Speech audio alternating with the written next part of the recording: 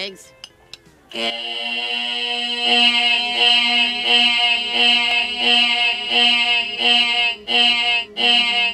Uh-oh. Uh, yeah, yeah, right here. Sorry. Here you go, cutie.